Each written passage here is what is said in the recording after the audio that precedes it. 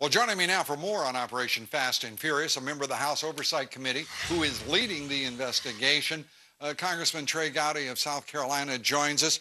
Uh, we heard from Senator Chuck Grassley, your chairman, uh, Congressman Darrell Issa. This is going to be pursued. You're at the forefront of the, uh, the interrogatories, uh, if I may. You saw what happened. I mean, is Lanny Breuer a credible witness to you?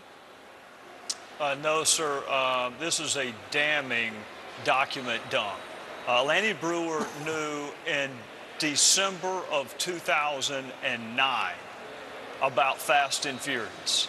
December of 2009. He knew that there was gun walking involved. Leave wide receiver out of it. He knew about Fast and Furious in 2009 or January 2010. Lou, they assigned a Department of Justice prosecutor to Fast and Furious in March of 2010. Attorney General Holder's now Chief of Staff, Gary Grindler, knew where the weapons were being recovered in Mexico in March of 2010. Apparently, the only person at the Department of Justice who was not aware of Fast and Furious or gun walking or problems was the Attorney General. The one person who's supposed to know about it apparently is the only one who didn't because his top lieutenants most certainly did.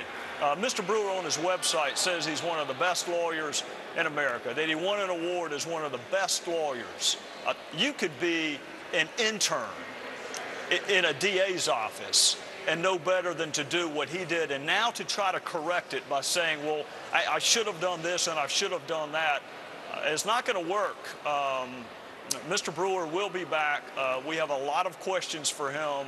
Mr. Breuer will be lucky to hang on to his job. Well, the, the fact of the matter is, I mean, you've got Lanny Breuer conflating Operation Wide Receiver and uh, Operation Fast and Furious. In the most, uh, in this one instance, the Justice Department is transparent. They're playing political games with an answer to a very serious investigation by the U.S. Congress. The idea that he would think that that was cute uh, is and clever is beyond me. What are your thoughts? Well, well, Lou, what he's trying to do is, is what we did when we were kids. Our, our defense was, uh, well, I'm not the only one doing it. Such and such is doing it. They wanted to blame the Bush administration for wide receiver. Well, lo and behold, Lanny Breuer knew about wide receiver. He didn't lift a finger to stop it. He didn't offer any corrective measures. And then he went and approved an investigation, if that's the right word, that is larger in scope and heavens knows it's larger in chaos and destruction and collateral damage than wide receiver ever dreamt of being. This blaming of the Bush administration may have lasted, that may have been a good excuse for the first six months the president was in office. But people are tired of that now. And with Lanny Breuer's fingerprints, more than his fingerprints, his DNA is on both wide receiver and Fast and Furious all the way back to early 2010. And uh, in, in fact, the, the Attorney General's top two aides, uh, the head of the criminal division, Breuer, his chief of staff, both fully knowledgeable on Operation Fast and Furious.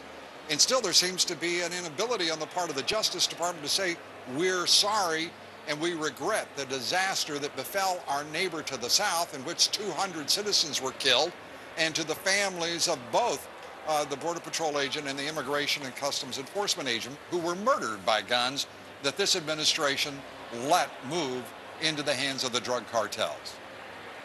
Uh, Lou, uh, Gary Grindler and Lanny Breuer uh, were more than just aware of Fast and Furious. They aided and abetted the investigation.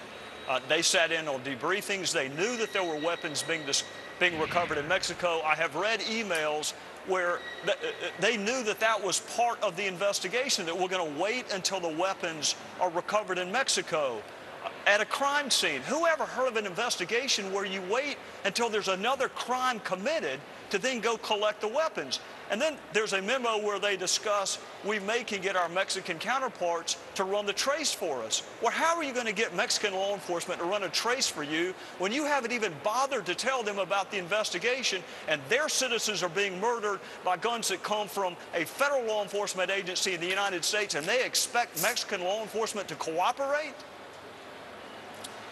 Trey Gowdy, we appreciate you being with us, and we should point out as you evaluate the capability of Lanny Breuer as a prosecutor, uh, Congressman Gowdy himself, a former uh, federal prosecutor and uh, and as you can tell, an outstanding public servant now as congressman. We thank you very much for being with us.